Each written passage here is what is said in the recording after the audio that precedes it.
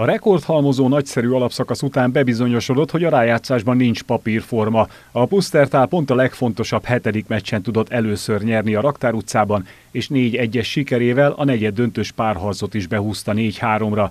Érthető a csalódottság a volán szurkolói, játékosai és vezetői részéről, de azzal mindenki tisztában volt, ez is benne van a sportban. Nagyon jó volt az alapszakasz, de talán egy kicsit túl, túl is teljesítettük azt, amit, amit mindenki elvárt, vagy a csapat nagyon a, a maximumhoz közeli teljesítményt hozott, és ezt, ezt így a, a rájátszás első körében nem feltétlenül sikerült megismételni, de összességében azért mondom, hogy kell egy pár nap, mert ezzel a nagy, nagy képet kell nézzük, ami, ami abszolút pozitív. Tehát, hogyha össze kell foglalnom, akkor azt mondom, hogy volt, ez egy nagyon jó szezon volt, ha most tovább jutottunk volna, akkor lett volna tökéletes szezon. A Pusztertállal 11 meccset játszott a Fehérvár a szezonban, ebből hetet megnyert, mégsem mondható, hogy érdemtelen lenne a dél-tiroliak továbbjutása, hiszen a kiélezett szituációban végül ők voltak jobbak. Négy meccset is nyertünk, ugye, akik, akik tovább jutottak most a kárunkra.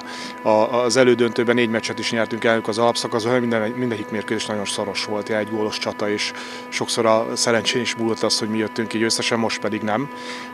Úgyhogy igen, folyamatosan azért, azért mindig emlékeztetjük magunkat arra, hogy, hogy jó, jó, nagyon, nagyon boldogok vagyunk, ahol vagyunk, és nagyon jók az eredmények, de, de ez, ez, ez, ez inkább a, a, a túlteljesítés kategória, tehát ezzel tisztában voltunk. A Hidrofehérvár a V19-nél ezekben a napokban még a csalódottság az úr, de a vezetőségnek már a jövőben is foglalkoznia kell.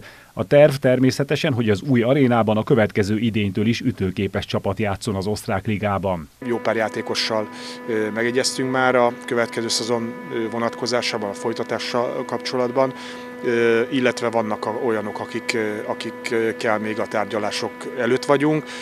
Ezeket hamarosan majd, majd be fogjuk jelenteni, meg persze van egy jó pár játékos, akinek futószerződése van. Tehát a, a csapat nagy része azért már, már készen áll, de még meg szükségünk lesz erősítésre, az biztos.